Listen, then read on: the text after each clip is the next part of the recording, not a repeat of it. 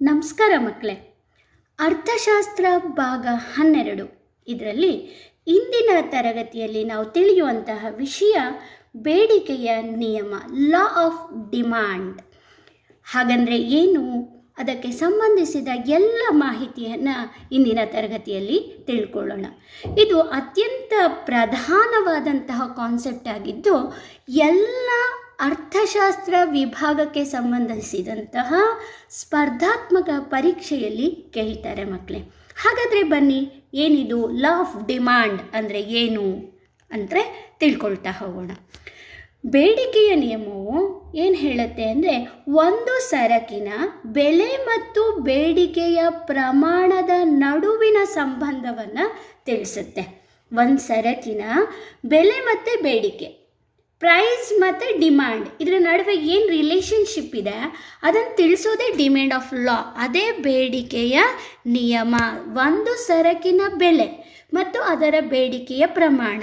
ಇವೆರಡರ ನಡುವಿನ ಸಂಬಂಧವನ್ನು ತಿಳಿಸೋದೇ ನಮ್ಮ ಬೇಡಿಕೆಯ ನಿಯಮ. ಹಾಗಾದರೆ ಬೇಡಿಕೆ ನಿಯಮ ಅಂದರೆ ಏನು? ಏನು ತಿಳಿಸುತ್ತೆ ಅಂದರೆ ಇತರ ಅಂಶಗಳು ಬದಲಾಗದೆ ಸ್ಥಿರವಾಗಿದ್ದಾಗ. ಇತರ ಅಂಶಗಳು ಬದಲಾಗದೆ ಸ್ಥಿರವಾಗಿದ್ದಾಗ ಒಂದು ಸರಕಿನ ಬೆಲೆಯು ಕಡಿಮೆಯಾದಾಗ ಅದರ ಬೇಡಿಕೆ ಹೆಚ್ಚಾಗುತ್ತೆ ಮತ್ತು ಬೆಲೆ ಹೆಚ್ಚಾದಾಗ ಬೇಡಿಕೆ ಕಡಿಮೆಯಾಗುತ್ತದೆ. ಇದನ್ನೇ ಬೇಡಿಕೆಯ ನಿಯಮ ಅಂತ ಕರೀತಾರೆ.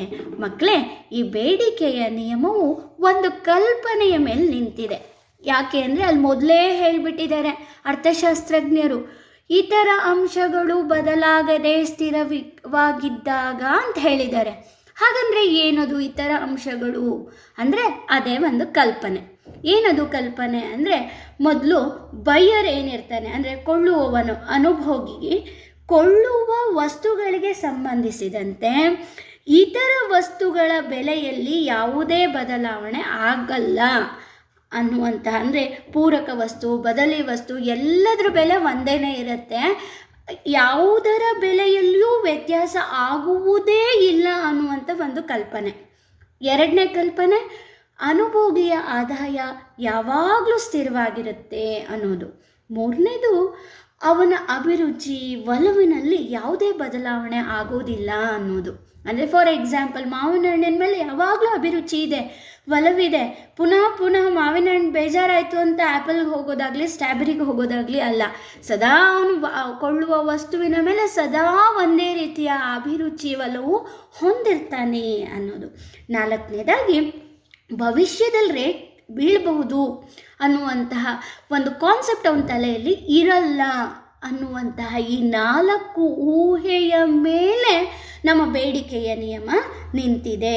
ಇಷ್ಟೇ ಮಕ್ಕಳೇ, ಏನು ಹೇಳ್ತಾರೆ ಬೇಡಿಕೆಯ ನಿಯಮ ಅಂದರೆ ಪ್ರೊಫೆಸರ್ ಸ್ಯಾಮಲ್ಸನ್ ಅವರ ಪ್ರಕಾರ ಇತರ ಅಂಶಗಳಲ್ಲಿ ಬದಲಾವಣೆ ಯಾಗದೇ ಇದ್ದಲ್ಲಿ ಬದಲಾವಣೆಯಾಗದೇ ಇದ್ದಲ್ಲಿ ಜನರು ಕಡಿಮೆ ಬೆಲೆಯಲ್ಲಿ ಹೆಚ್ಚು ಕೊಳ್ಳುವರು ಮತ್ತು ಹೆಚ್ಚಿನ ಬೆಲೆಯಲ್ಲಿ ಕಡಿಮೆ ಕೊಳ್ಳುವರು. ನೀವು ಪರೀಕ್ಷೆಯಲ್ಲಿ ಈ ರೀತಿಯ ವ್ಯಾಖ್ಯೆಗಳನ್ನು ಬರೆದಾಗ ಅತಿ ಹೆಚ್ಚು ಅಂಕಗಳನ್ನು ಗಳಿಸ್ತೀರ? Concept is very easy very practical also ಅಲ್ವಾ?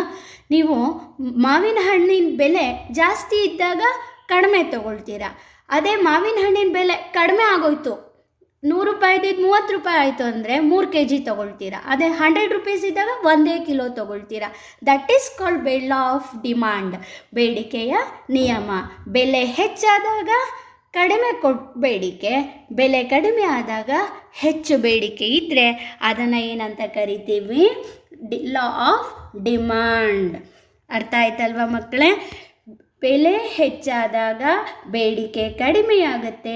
ಬೇಡಿಕೆ ಕ, ಬೆಲೆ ಕಡಿಮೆ ಇದ್ದಾಗ ಬೇಡಿಕೆ ಹೆಚ್ಚಾಗುತ್ತೆ. ನೀವು ಈ ರೀತಿಯ ಡಯಾಗ್ರಾಮ್ನ ಬರೆದು ಪರೀಕ್ಷೆಯಲ್ಲಿ ವಿವರಿಸಿದರೆ ಅತಿ ಹೆಚ್ಚು ಅಂಕವನ್ನು ಗಳಿಸ್ಬೋದು. ಹಾಗಾದರೆ ಮುಂದೆ ಬನ್ನಿ, ಈ ಮುಂದಿನ ವಿಚಾರವನ್ನು ಮಾಡೋಣ.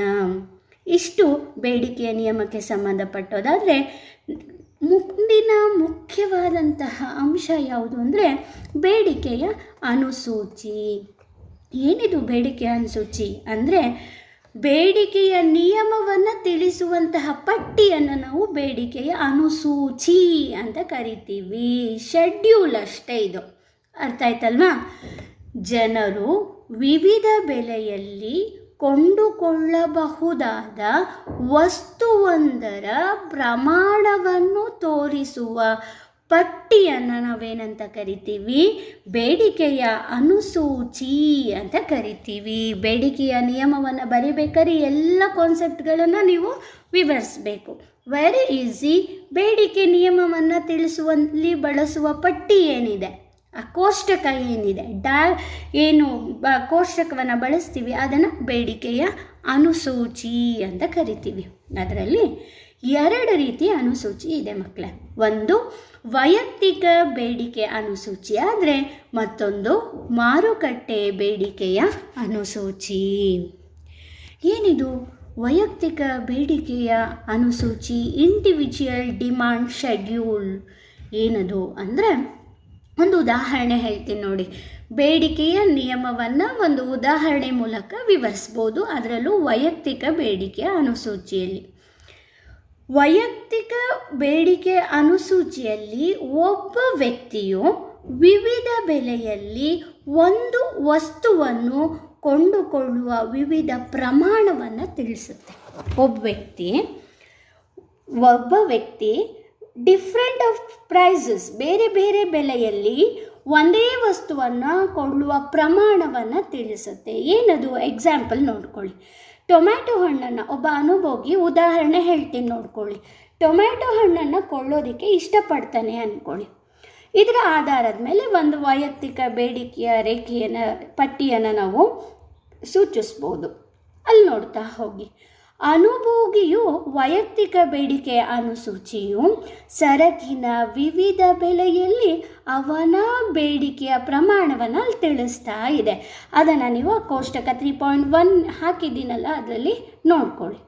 ಟೊಮ್ಯಾಟೊದ ಬೆಲೆಯು ಪ್ರತಿ ಕೆ ಜಿಗೆ ಪ್ರತಿ ಕೆ ಜಿಗೆ ನಾಲ್ಕು ರೂಪಾಯಿ ಇದ್ದಾಗ, ಅಲ್ಲಿ ಎರಡನೇ ಪಟ್ಟಿಯಲ್ಲಿ ನೋಡ್ಕೊಳ್ಳಿ. ನಾಲ್ಕು ರೂಪಾಯಿ ಫೋರ್ ರುಪೀಸ್ ಇದ್ದಾಗ ಅವನು ಏನು ಮಾಡ್ತಾನೆ? ಎಷ್ಟು ಪ್ರಮಾಣದ ಕೆ ಜಿಯನ್ನು ತಗೊಳ್ತಾನೆ ಕೆ, ಎಂಟು ಏನು ಮಾಡ್ತಾನೆ? ಕೆ, ಪ್ರತಿ ಕೆ ಜಿಗೆ ರೂ ನಾಲ್ಕು ಇದ್ದಾಗ ಬೇಡಿಕೆಯ ಪ್ರಮಾಣವು ಹನ್ನೆರಡು ಕೆ ಜಿಯಷ್ಟಿರುತ್ತೆ ಬೆಲೆ ರು ಐದಿದ್ದಾಗ ಅವನು ಹತ್ತು ಕೆ ಜಿ ತೊಗೊಳೋಕೆ ಇಷ್ಟಪಡ್ತಾನೆ. ಅದೇ ರೀತಿ ಇಳಿಕೆಯಾದಾಗ, ಅದೇ ರೀತಿ ಮುಂದುವರಿತಾ ಹೋದರೆ ಟೊಮ್ಯಾಟೊವಿನ ಬೆಲೆ ಹೆಚ್ಚಾದಾಗ ಅದರ ಬೇಡಿಕೆ ಕಡಿಮೆ ಆಗಿದೆ. ಬೆಲೆಯು ಇಳಿದಾಗ ಬೇಡಿಕೆ ಹೆಚ್ಚಾಗ್ತಾ ಹೋಗಿದೆ. ಅರ್ಥ ಆಯ್ತಲ್ವ ಮಕ್ಕಳೇ? ಆ ಕೋಷ್ಟಕವನ್ನು ನೋಡಿ. ಫೋರ್ ರುಪೀಸ್ ಇದ್ದಾಗ ಅವನು ಟ್ವೆಲ್ ಕೆ ಜಿಯನ್ನು ತಗೊಳ್ಳೋದಕ್ಕೆ ಇಷ್ಟಪಡ್ತ ಅದನ್ನು ಪ್ರಮಾಣವು ಹನ್ನೆರಡು ಕೆ ಜಿಗಳಿಷ್ಟಿತ್ತು ಆದರೆ ಐದು ರೂಪಾಯಿ ಹೆಚ್ಚಳ ಆದಾಗ ಹತ್ತು ಕೆ ಜಿಗೆ ಇಳಿತು. ಇಲ್ಲಿ ಕೆಳಗಡೆಯಿಂದ ಮೇಲ್ಗಡೆ ನೋಡ್ಕೊಳ್ತಾ ಹೋಗಿ. ಎಂಡಿಂದ ಫೋರ್ ರುಪೀಸ್ ಕಿಲೋ ಇದ್ದಾಗ, ಎಂಡಲ್ಲಿ ನೋಡ್ಕೊಳ್ಳಿ. ಫೋರ್ ರುಪೀಸ್ ಕಿಲೋ ಬಂದಾಗ ಅವನು ಟ್ವೆಲ್ ಕೆ ಜಿಸ್ ಡಿಮ್ಯಾಂಡ್ ಮಾಡಿ ತೊಗೊಂಡ.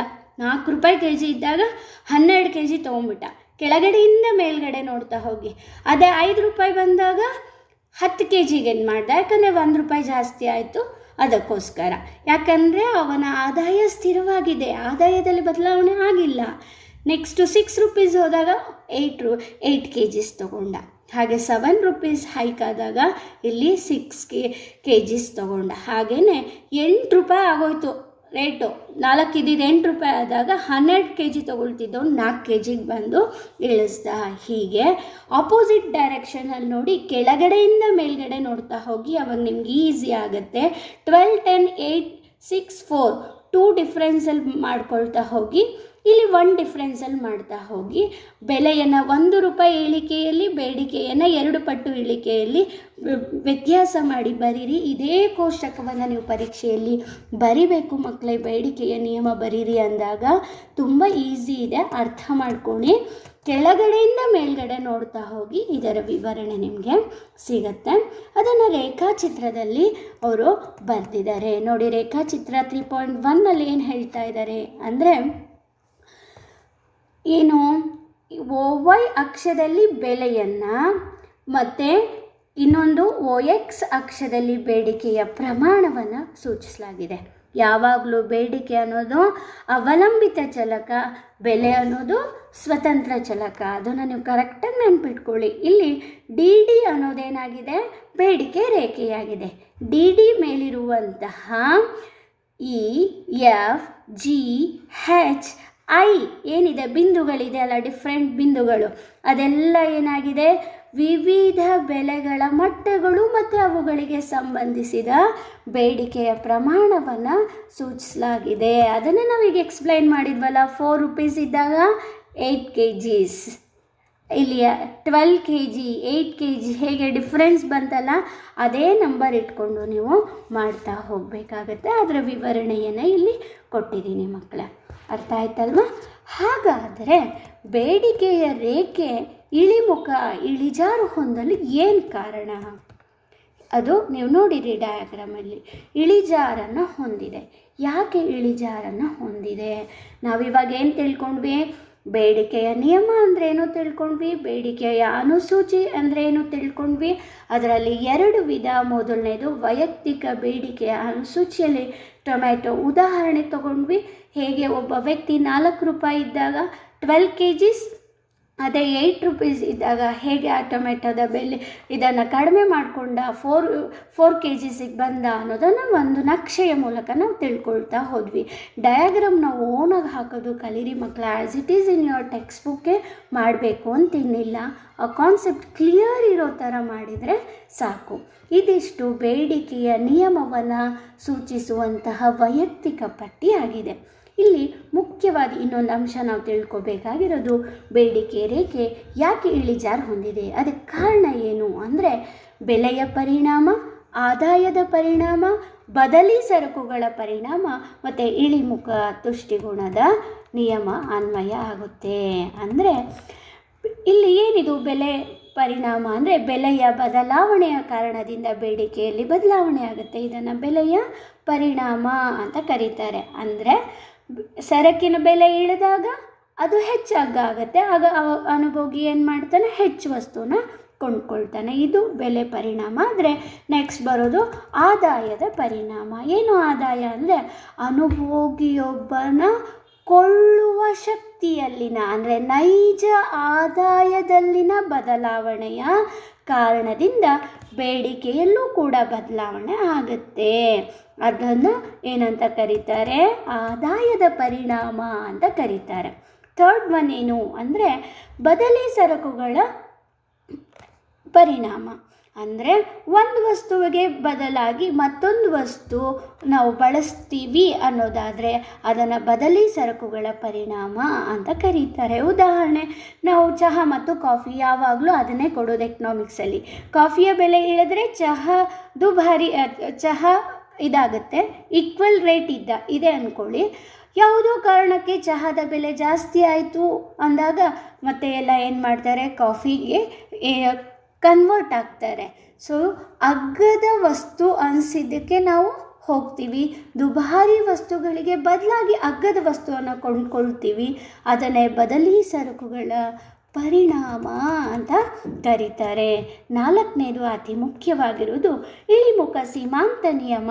ಸೊ ಮಕ್ಕಳೇ, ಇದು ನಿಮಗೆ ಗೊತ್ತಿದೆ. ಯಾವುದೇ ಒಂದು ಸರಕನ್ನು ನಿರಂತರವಾಗಿ ಉಪಯೋಗಿಸ್ತಾ ಹೋದಾಗ ಅದರ ಮೇಲಿನ ತುಷ್ಟಿಗುಣ, ಸೀಮಾಂತ ತುಷ್ಟಿಗುಣ ಕಡಿಮೆ ಆಗ್ತಾ ಹೋಗುತ್ತೆ.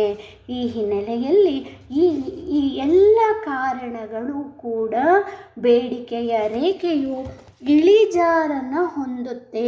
ಅಂದರೆ ನಿಮಗೆ ಆರು ಅಂಕದ ಪ್ರಶ್ನೆ ಇಲ್ಲಿ ಕೇಳ್ತಾರೆ ಈ ನಾಲ್ಕು ಪಾಯಿಂಟ್ ನೆನ್ಪಿಟ್ಕೊಳ್ಳಿ, ಎಲಾಬ್ರೇಟ್ ಮಾಡಿ, ಎಕ್ಸಾಂಪಲ್ಗಳನ್ನು ಕೊಡಿ ಪೂರ್ಣ ಅಂಕವನ್ನು ಗಳಿಸ್ಬೋದು. ಹಾಗೆ ಈ ನಿಯಮಕ್ಕೆ ಕೆಲವೊಂದಿಷ್ಟು ಅಪರ, ಅಪವಾದಗಳು ಅಂತ ಕರೀತಾರೆ. ಏನು? ಈ ನಿಯಮದ ಆಚರಣೆಯಲ್ಲಿ ಕೆಲವೊಂದಿಷ್ಟು ಇದಿದೆ. ಅಪವಾದಗಳಂತ ನಾವು ಕರಿತೀವಿ. ಆ ಅಪವಾದಗಳು ಅಂದರೆ ಯಾವುದು? ಅಂದರೆ ಮೊದಲನೇದು ಕೆಳದರ್ಜೆಯ ಮಿತಿಗಳು, ಅಪವಾದಗಳು. ಅಂದರೆ ಮೊದಲನೇದಾಗಿ ಕೆಳದರ್ಜೆಯ ಸರಕುಗಳು. ಅಂದರೆ ಅನುಭೋಗಿಯ ಆದಾಯ ಹೆಚ್ಚಾದಂತೆ ಅವುಗಳ ಬೇಡಿಕೆ ಕಡಿಮೆ ಆಗುತ್ತೆ. ಹೆಚ್ಚು ಆದಾಯ ಕಡಿಮೆಯಾದಂತೆ ಬೇಡಿಕೆ ಹೆಚ್ಚಾಗುತ್ತೆ. ಇಂತಹ ಸರಕುಗಳನ್ನು ಕೆಳದರ್ಜೆಯ ಸರಕುಗಳು ಅಂತ ಕರಿತಾ ಹೋಗ್ತೀವಿ. ಅಂದರೆ ಕನಿಷ್ಠ ಅವಶ್ಯಕ ಆಹಾರ ಧಾನ್ಯಗಳ ಬೆಲೆ ಹೆಚ್ಚಾಗಲಿ ಕಡಿಮೆ ಆಗಲಿ ಅದ್ರ ಕೊಳ್ಳುವ ಪ್ರಮಾಣ ಮಾತ್ರ ಸ್ಥಿರವಾಗಿಯೇ ಇರುತ್ತೆ. ಸೊ ಕೆಳದರ್ಜೆಯ ಸರಕುಗಳು ಅನುಭೋಗಿಯ ಆದಾಯ ಹೆಚ್ಚಾದಂತೆ ಬೇಡಿಕೆ ಕಡಿಮೆ ಆಗುತ್ತೆ, ಆದಾಯ ಕಡಿಮೆ ಆದಂತೆ ಬೇಡಿಕೆ ಹೆಚ್ಚಾಗುತ್ತೆ. ಉದಾಹರಣೆ, ನವಣೆ, ಸಾಮೆ, ಸಜ್ಜೆ, ಅರ್ಕ ಇತ್ಯಾದಿ ಒರಟು ಧಾನ್ಯಗಳು ಇವುಗಳ ಅಡಿಯಲ್ಲಿ ಬರುತ್ತೆ ಮಕ್ಕಳೇ. ಮತ್ತು ಮುಖ್ಯವಾಗಿರುವಂಥದ್ದು, ನಮ್ಮ ಗಿಫನ್ನ ವಿರೋಧಾಭಾಸ ವೆರಿ ಇಂಪಾರ್ಟೆಂಟ್ ಯಾರು ಇವರು? ಗಿಫನ್ ಅಂದರೆ ಸರ್ ರಾಬರ್ಟ್ ಗಿಫನ್ ಇವರೊಬ್ಬ ಐರಿಷ್ ಅರ್ಥಶಾಸ್ತ್ರಜ್ಞ. ಈತ ತನ್ನ ಸ್ವಂತ ಉದಾಹರಣೆಯ ಸಹಾಯದಿಂದ ಬೇಡಿಕೆಯ ನಿಯಮವನ್ನು ಖಂಡಿಸಿದ್ದಾರೆ, ಅಂದರೆ ವಿರೋಧಿಸಿದ್ದಾರೆ. ಅದರಿಂದ ಗಿಫನ್ನ ವಿರೋಧಾಭಾಸ ಅಂತಲೇ ಜಗತ್ಪ್ರಸಿದ್ಧಿಯಾಗಿದೆ. ಏನಿದು ಗಿಫನ್ನ ವಿರೋಧಾಭಾಸ ಅಂದರೆ ಬೇಡಿಕೆಯು ಬೆಲೆಯಲ್ಲಿನ ಹೆಚ್ಚಳದ ಜೊತೆಗೆ ಬಲಗೊಳ್ಳುತ್ತದೆ ಅಥವಾ ಬೆಲೆಯಲ್ಲಿನ ಇಳಿಕೆಯ ಜೊತೆಗೆ ದುರ್ಬಲಗೊಳ್ಳುತ್ತದೆ. ಅಂದರೆ ಬೆಲೆ ಹೆಚ್ಚಾದಂತೆ ಬೇಡಿಕೆಯೂ ಹೆಚ್ಚಾಗುತ್ತೆ, ಬೆಲೆ ಕಡಿಮೆ ಆದಂತೆ ಬೇಡಿಕೆಯು ಕಡಿಮೆ ಆಗುತ್ತೆ. ಇದಕ್ಕೆ ಐಲ್ಯಾಂಡ್ನ ಒಂದು ಬಡ ಜನರ ಉದಾಹರಣೆಯನ್ನು ನೀಡಿದರು ಅವರು. ಆಲೂಗಡ್ಡೆ ಮತ್ತು ಮಾಂಸದ ಉದಾಹರಣೆಯನ್ನು ನೀಡಿದರೆ ಅದು ಗಿಫನ್ನ ವಿರೋಧಾಭಾಸವನ್ನು ವಿವರಿಸೋದಕ್ಕೆ ಬಳಸುವ ಅತ್ಯುತ್ತಮವಾದ ಆತನೇ ನೀಡಿದ ಉದಾಹರಣೆ. ಅದು ಐಲ್ಯಾಂಡ್ನ ಉದಾಹರಣೆ. ನೀವು ಇದನ್ನು ಬರಿಬೇಕಾದ್ರೆ ಈ ಉದಾಹರಣೆನೇ ಕೊಡಿ ಮಕ್ಕಳೇ ಇಲ್ಲಿ ಆಲೂಗಡ್ಡೆ ಮತ್ತು ಮಾಂಸ ಅನ್ನೋದು ಐಲ್ಯಾಂಡ್ ಜನ, ಬಡ ಜನರ ಒಂದು ಆಹಾರ ಸರಕಾಗಿರುತ್ತೆ. ಅದನ್ನೇ ಬಳಸ್ತಾ ಇರ್ತಾರೆ. ಆಲೂಗಡ್ಡೆ ಬೆಳೆ ಬೆಲೆ ಇಳಿದಾಗ ಜನರು ಆಲೂಗಡ್ಡೆಯನ್ನು ಹೆಚ್ಚಾಗಿ ಕೊಳ್ಳುವುದಕ್ಕೆ ಬದಲಾಗಿ ಮಾಂಸವನ್ನು ಕೊಳ್ಳಲು ಪ್ರಾರಂಭಿಸ್ತಾರೆ. ಹಾಗೆ ಆಲೂಗಡ್ಡೆ ಬೆಲೆಯಲ್ಲಿ ಇಳಿಕೆಯಾದ ಕಾರಣದಿಂದ ಅದರ ಬೇಡಿಕೆಯೂ ಇಳಿಕೆ ಆಯಿತು. ಇದನ್ನೇ ಗಿಫನ್ನ ವಿರೋಧಾಭಾಸ ಅಂತ ಕರೀತಾರೆ. ಏನು ಅಂದರೆ ಆಲೂಗಡ್ಡೆ ಫಾರ್ ಎಕ್ಸಾಂಪಲ್ ಅವರು ಟೆನ್ ರುಪೀಸ್ ಖರ್ಚು ಮಾಡಿಬಿಟ್ಟು ಒನ್ ಕೆ ಜಿ ತೊಗೊಳ್ತಾ ಇರ್ತಾರೆ ಅಂತ ತಿಳ್ಕೊಳ್ಳಿ. ಎಕ್ಸಾಂಪಲ್ ಹೇಳ್ತಾ ಇದ್ದೀನಿ ನಾನು. ಟೆನ್ ರುಪೀಸ್ಗೆ ಒನ್ ಕಿಲೋ ತೊಗೊಳ್ತಿರ್ತಾರೆ. ಟೆನ್ ರುಪೀಸ್ ಇದ್ದಿದ್ದು ಫೈವ್ ರುಪೀಸ್ ಆಯಿತು ಅಂತ ತಿಳ್ಕೊಳ್ಳಿ ಯಾವುದು ಆಲೂಗಡ್ಡೆ ಪ್ರೈಸು ಅದೇ ಮಾಂಸದ ಬೆಲೆ ಇಪ್ಪತ್ತು ರೂಪಾಯಿ ಇತ್ತು ಅಂತ ತಿಳ್ಕೊಳ್ಳಿ. ಸೊ ಜನ ಏನು ಮಾಡಿದರು? ಆಲೂಗಡ್ಡೆ ಬೆಲೆ ಐದು ರೂಪಾಯಿ ಕಡಿಮೆ ಆಯ್ತಲ್ವಾ? ಸೊ ಆಲೂಗಡ್ಡೆ ಕಡಿಮೆ ಆಯಿತು ಅಂತ ಅವ್ರಿಗೆ ಎರಡು ಕೆ ಜಿ ತೊಗೊಳ್ಳಿಲ್ಲ. ಉಳಿಕೆಯಾದಂತಹ ಆ ಫೈವ್ ರುಪೀಸ್ನ ತೆಗೆದುಬಿಟ್ಟು ಮಾಂಸ ಕೊಳ್ಳುವಿಕೆಗೆ ಹಾಕಿದ್ರು. ಅಂದರೆ ಬೆಲೆ ಇಳಿದ್ರು, ಬೇಡಿಕೆನೂ ಇಳಿತು. ಬೇಡಿಕೆಯಲ್ಲಿ ಯಾವುದೇ ರೀತಿ ಬದಲಾವಣೆ ಆಗಲಿಲ್ಲ. ಇದನ್ನು ಏನಂತ ಕರೀತಾರೆ? ಗಿಫನ್ನ ವಿರೋಧಾಭಾಸ ಅಂತ ಕರೀತಾರೆ. ನೀವು ಇದನ್ನು ಈ ರೇಖಾಚಿತ್ರದ ಮೂಲಕ ನೀವು ಬರಿಬೇಕಾಗತ್ತೆ ಮಕ್ಕಳೇ. ಅರ್ಥ ಆಯ್ತಲ್ವಾ? ಇದನ್ನೇ ಗಿಫನ್ನ ವಿರೋಧಾಭಾಸ, ತುಂಬ ಮುಖ್ಯವಾದಂತಹ ಕಾನ್ಸೆಪ್ಟ್ ಈಗ ಏನು ಹೇಳಿದ್ನಲ್ಲ, ಅದೇ ಇಲ್ಲಿ ಈ ಸ್ಲೈಡಲ್ಲಿ ಬರ್ತಿದ್ದೀವಿ ಹಾಗಾದರೆ ನೆಕ್ಸ್ಟು ಪೂರಕ ಸರಕುಗಳು. ಏನಿದು ಪೂರಕ ಸರಕುಗಳು? ಅಂದರೆ ಇದೆಲ್ಲ ಕಾನ್ಸೆಪ್ಟನ್ನ ನೀವು ಕರೆಕ್ಟಾಗಿ ತಿಳ್ಕೋಬೇಕು. ಒಂದು ನಿರ್ದಿಷ್ಟ ಬಯಕೆಯನ್ನು ತೃಪ್ತಿಪಡಿಸಿಕೊಳ್ಳಲು ಒಟ್ಟಿಗೆ ಅನುಭೋಗಿಸುವ ಸರಕುಗಳನ್ನು ಪರಸ್ಪರ ಪೂರಕ ಸರಕುಗಳು ಅಂತ ಕರೀತಾರೆ. ಯಾವುದೋ ಒಂದು ಪರ್ಟಿಕ್ಯುಲರ್ ಆಗಿರುವಂಥ ಬೈಕೇನ ತೃಪ್ತಿಪಡಿಸ್ಕೋಬೇಕು ಅನ್ನೋದಕ್ಕೋಸ್ಕರ ಒಂದಿಷ್ಟು ಬಂಚ್ ಆಫ್ ಇದನ್ನು ತಗೊಳ್ತೀವಿ ನಾವು. ಅದು ವಸ್ತುಗಳನ್ನು ಪರ್ಚೇಸ್ ಮಾಡ್ತೇವೆ. ಅದನ್ನು ಏನಂತ ಕರಿತೀವಿ? ಪೂರಕ ಸರಕುಗಳು. ಪೆನ್ನು ಮತ್ತು ಇಂಕು. ಇಂಕ್ ಇಲ್ಲದೆ ಪೆನ್ ಬರೆಯೋಕ್ಕಾಗತ್ತಾ ಇಲ್ಲ. ಚಹಾ ಪುಡಿ ಮತ್ತು ಸಕ್ಕರೆ ಒಳ್ಳೆ ಟೀ ಮಾಡ್ಕೋಬೇಕು ಅಂದರೆ ಶುಗರ್ ಇಲ್ಲದೆ ಮಾಡೋಕ್ಕಾಗುತ್ತಾ ಅಫ್ಕೋರ್ಸ್ ಶುಗರ್ ಬೇಕೇ ಬೇಕು. ಶುಗರ್, ಮಿಲ್ಕ್ ಇತ್ಯಾದಿ. ಬೈಕ್ ಮತ್ತು ಪೆಟ್ರೋಲ್. ಎಕ್ಸಲೆಂಟ್ ಬೈಕ್ ತೊಗೊಂಡಿದ್ದೀರಾ? ಪೆಟ್ರೋಲೇ ಇಲ್ಲದೆ ಇದ್ದರೆ ಮನೆ ಮುಂದೆ ನಿಲ್ಲಿಸ್ಕೊಳ್ಳೋಕ್ಕಾಗತ್ತಾ ಇಲ್ಲ. ಆದ್ದರಿಂದ ಒಂದು ವಸ್ತು ಮತ್ತೊಂದು ವಸ್ತುವಿನ ಬೇಡಿಕೆಯನ್ನು ಜೊತೆ ಜೊತೆಗೆ ಎತ್ಕೊಂಡು ಹೋಗುತ್ತೆ. ಅದನ್ನು ಪೂರಕ ವಸ್ತು ಸರಕುಗಳ ಬೇಡಿಕೆ ಅಂತ ಕರೀತಾರೆ. ಇದನ್ನು ಅವಲಂಬಿ ಸರಕುಗಳು ಅಂತ ಕೂಡ ಕರೀತಾರೆ. ಹಾಗೆ ಬದಲಿ ಸರಕುಗಳು. ನಿರ್ದಿಷ್ಟ ಬಯಕೆಯನ್ನು ತೃಪ್ತಿಪಡಿಸಿಕೊಳ್ಳಲು ಒಂದು ಸರಕಿಗೆ ಬದಲಾಗಿ ಮತ್ತೊಂದು ಬಳಸಬಹುದಾದ ಮತ್ತೊಂದು ಬದಲಿ ಸರಕುಗಳನ್ನು ಬದಲಿ ಸರಕುಗಳು ಅಂತ ಕರೀತಾರೆ. ಅಂದರೆ ಡೀಸೆಲ್ ಮತ್ತು ಗ್ಯಾಸ್. ಈಗ ನೋಡಿ, ಆಟೋದವರು ಡೀಸೆಲ್ ಹಾಕಿ ಕೂಡ ಓಡಿಸ್ಬೋದು, ಬದಲಾಗಿ ಗ್ಯಾಸ್ ಸಿಲಿಂಡರ್ ಫಿಕ್ಸ್ ಮಾಡಿ ಕೂಡ ಓಡಿಸ್ತಾರೆ. ರೇಟಲ್ಲಿ ಡಿಫ್ರೆನ್ಸ್ ಇರುತ್ತೆ ಅಂತ. ಹಾಗೆ ವಿದ್ಯುತ್ ಶಕ್ತಿ ಮತ್ತು ಸೌರಶಕ್ತಿ ಇದು ಅಷ್ಟೇ ಅಲ್ವಾ? ಅದಕ್ಕೆ ಬದಲಾಗಿ ಸಬ್ಸ್ಟ್ಯೂಟ್ ಆಗಿ ನಾವು ಸೌರಶಕ್ತಿ ಸೋಲಾರ್ ಲೈಟನ್ನು ಕೂಡ ನಾವು ಯೂಸ್ ಮಾಡಬಹುದಾದ ಕಡೆ ಮಾಡಬಹುದು. ಎಷ್ಟೋ ಹಳ್ಳಿಗಳಲ್ಲಿ ನಾವೇನು ಮಾಡಿದ್ದೀವಿ ಸೋಲಾರ್ ಲೈಟ್ ಹಾಕ್ತಿದ್ದೀವಿ ಎಷ್ಟೋ ಜನದ ಮನೆಯಲ್ಲಿ ಆಲ್ಮೋಸ್ಟ್ ಸುಮಾರು ಸಿಕ್ಸ್ಟಿ ಟು ಸೆವೆಂಟಿ ಪರ್ಸೆಂಟ್ ಜನರ ಮನೆಯಲ್ಲಿ ಇತ್ತೀಚೆಗೆ ಸೌರಶಕ್ತಿಯಿಂದ ನೀರನ್ನು ಕಾಯಿಸುವಂತಹ ಒಂದು ಪ್ರಕ್ರಿಯೆ ಬಂದು ಹೋಗಿದೆ. ಈಗ ಯಾರೆಲ್ಲ ಮನೆ ಕಟ್ತಾರೋ, ಅವ್ರು ಸೋಲಾರ್ ಹಾಕಿಸ್ಕೊಂಡು ಅನಂತರ ಎಲೆಕ್ಟ್ರಿಕ್ಸಿಟಿಯನ್ನು ಪಡೆಯುವಂಥ ವ್ಯವಸ್ಥೆ ನಗರಗಳ ಕಡೆ ಹೆಚ್ಚಾಗ್ತಾ ಇದೆ. ಹಾಗೆಯೇ ಬಸ್ ಮತ್ತು ರೈಲು. ಬದಲಿ ವಸ್ತುಗಳು ಬಸ್ಸು ಮತ್ತು ರೈಲು ಪ್ರಯಾಣದ ದರ, ಸಮಯ ಇತ್ಯಾದಿಗಳನ್ನು ಅವಲಂಬಿಸಿ ಪ್ರಯಾಣಿಕರು ಆಯ್ಕೆಯನ್ನು ಮಾಡಿಕೊಳ್ತಾರೆ. ಹೀಗೆ ಬಳಸಬಹುದಾದ ಬದಲಿ ವಸ್ತುಗಳಿಂದ ಬೇಡಿಕೆ ಸೃಷ್ಟಿಯಾದರೆ ಅದನ್ನು ಬದಲಿ ಸರಕುಗಳು ಅಂತ ಕರೀತಾರೆ.